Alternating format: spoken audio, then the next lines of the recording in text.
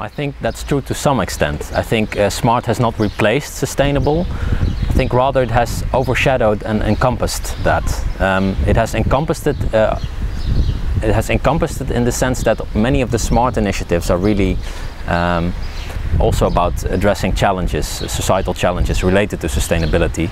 And it has overshadowed the term uh, sustainable because, you know, if you look at the policy discourse now, smart is much more prominent, smart cities is much more prominent than eco cities or other types of uh, labels. Well, I think in the Netherlands the policy context is quite distinctive. Uh, it's called in Dutch it's called the polder model. So the way uh, government and private and the private sector work together is is, is rather distinctive. Um, also, I think in the Netherlands a lot of experiments are being conducted, um, and especially this sheer amount of experiments, and, and uh, that that's that's quite distinct.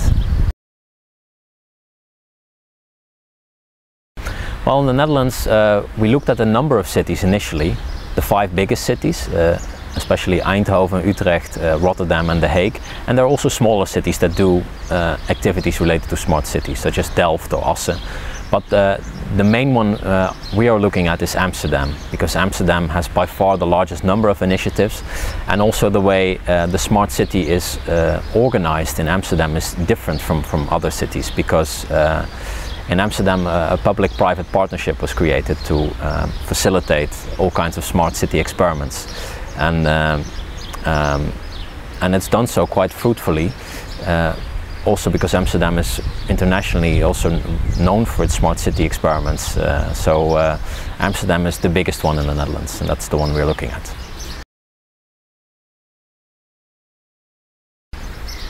Well, I think it's important to note that um, uh, what many uh, delegations uh, you know, from foreign cities want to learn when they come to Amsterdam is they want to know how uh, uh this cooperation between uh, different government departments and the private sector, how this is organized, uh, um, because it's done quite productively.